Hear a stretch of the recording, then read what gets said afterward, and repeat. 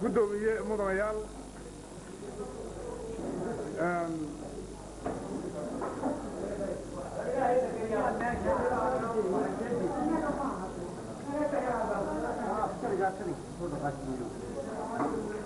waar meesha waxaan intaanan halkan idinka akhriyin talooyinkii aynu maalintii dhaweyd halkan aynu ka go'aaminay ayaan mar labaad ku celinaynaa hadhowna waa laydin qaybin doonaa iyagoo qoraalaan masinaynaa waxaa kaloo shirguddoon ahaan isla garanayn maadaama kalfadhigii aynu gebagabaynayno aynu talagelkeennu ahay aynu gebagabayno oo dee maanaan ogeyn markaa codsigan madaxweyneha xaggiisa ka yimid dee guddoomiyihii noo sheegay aynu ka tashan doonno.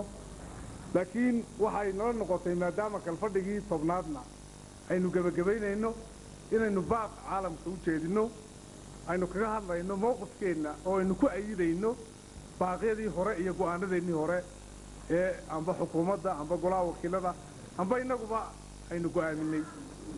Taas intaa waynu ku dambayn doonnaa talooyinka ka soo baxay kalfadhiga tobnaad.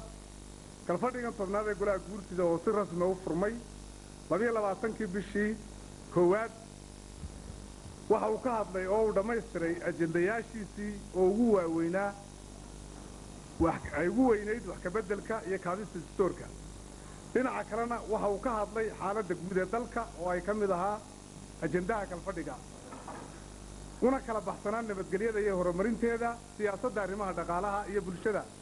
Haddaba goluhu markuu ka baaraandegey ee uu ka dooday arrimaha nabadgelyada siyaasadda arrimaha dhaqaalaha iyo bulshada waxa uu ka soo saaray oo uu ka gaadhay talooyinkan.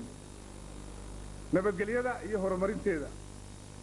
Iyadoo ay jiraan arrimo inagu soo kordhay wakhtiyadan dambe kuna saabsan guud ahaanba arrimaha dadka soomaaliyeed gaar ahaanna ay jiraan kuwo inagu wajahan oo ka soo hor jeeda qadiyadda waddanka iyo rabitaankiisa oo aanay qarsoonayn duulduulka faragelineed oo sir iyo caadba leh xaqiiq ahaan innaga oo ku kalsoon shacbigeenna iyo iskuduubnaanta xukuumadda golayaasha iyo dadweynahaba aragti ahaan goluhu kalfadhigiisan wuxuu dareemayaa in ay marxalada fiican marayaan xaaladaha ka jira gobollada bari gaar ahaanna sanaag bari iyo sool oo ay nabadgelyadu nabadgelyad nabadgelyaduna guud ahaan iyo gaar ahaanba fiican tahay wanaagsan tahay.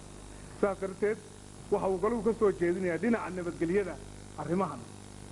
Kow in la yeesho foojignaan saa'id ah iyo iskaashi si looga hor tago wax kastoo halis ku ah nabadgelyada. Tilmaan ahaan in la sameeyo barnaamijyo baraarujineed iyo wacyigelineed oo ku aadan si adkaynta nabadgelyada khaas ahaanna hay'adaha sida gaarka ah ugu xil saaran in la dareensiiyo waxyaabaha iman kara. Lana xoojiyo iskaashigooga islamarkaana lagu gacan siiyo wax kasta oo suurtagal u ah oo fududaynaya howlgudashadooda. Laba ka gol ahaan waxaan diyaar u nahay in aannu uga gacan gaysanno si hagar la'aana wax kasta oo la xidhiidha ilaalinta adkaynta iyo horumarinta nabadgelyada. Siyaasadda. Go'aankii golayaasha ee baarlamaanka iyo xukuumaddu wuxuu ku soo beegmay wakhti munaasib ah. Waayo waxaa jirta su'aalo ku saabsan gooniisutaagga iyo qarannimada jumhuuriyadda somalilan. Saas awgeed waxay noogu muuqataa jawaab marinkeedii ku toostay goor ku habboon. Maxaa yeelay waxay jawaab u ahayd dareen jira. Sidoo kale waxay haysataa oo ku tiirsanayd rabitaanka iyo taageerada shacbiga. Wax kasta oo baalmarsan arrintan waxaa loo waxay la micno tahay indhala'aanta iyo duudsi xuquuq aasaasi ah oo shacbigweynuhu leeyahay. Lagana qaadi karin sidaas darteed iyadoo wakhtigana ay jiraan arrimo taagan khaas ahaanna dhinaca siyaasadda. Oo shanqadheedubay naga dheerayn. Waxaan gola ahaan soo jeedinaynaa in laga yeesho taxadir dheeraad ah ka wada socod iyo iskaashi si waxyaaboha iman kara loogu helo jawaab buuxda.